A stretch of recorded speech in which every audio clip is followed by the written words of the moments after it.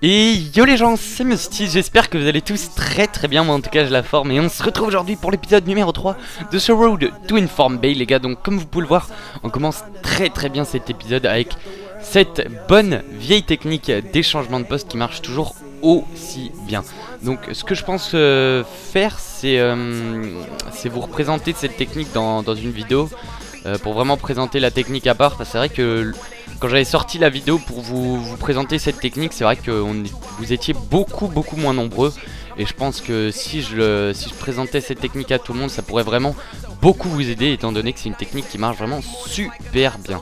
Donc comme vous allez le voir, on va, choper pas mal de Oscar en BU et en MDC, ça marche vraiment très très bien. Je vous, conseille euh, d'aller y faire un tour. Après un, un Inan en MDC également. Euh, un Drogba aussi en MDC. Enfin voilà, un petit peu, euh, un petit peu. Euh, enfin c'est une vague où on va utiliser en fait finalement que cette technique des changements de poste.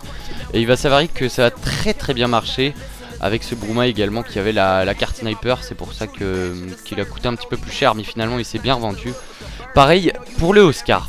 Et les gars, je tenais aussi à vous remercier tous pour les 3100 abonnés les gars. L'heure où je vous parle, vous êtes déjà 3100, c'est carrément énorme. Enfin, ça, monte de plus en plus chaque jour et à une vitesse euh, incroyable.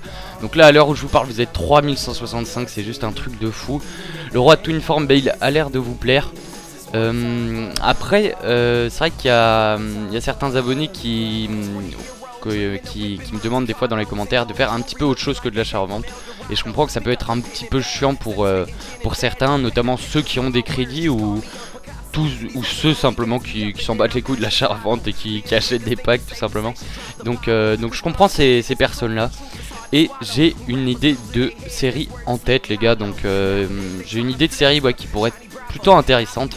Je pense vous parler un petit peu de tout ça dans, un live euh, qui va sortir d'ici pas très longtemps. Je pense enfin du, du moins je vais essayer de faire mon, mon possible si j'ai le temps mercredi de vous proposer un petit live.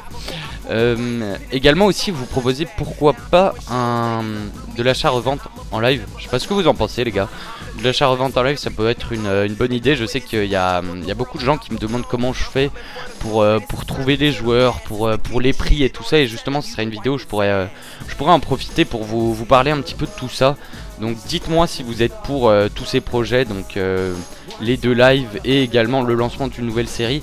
Euh, où il y aurait de l'achat-revente, mais pas que. Donc euh, dites-moi un petit peu ce que vous en pensez, si vous êtes d'accord euh, que je commence une nouvelle série les gars. Et donc voilà, la, chaîne tournera à un, rythme de 2 voire 3 vidéos max si j'arrive à m'organiser avec les pépites de la semaine.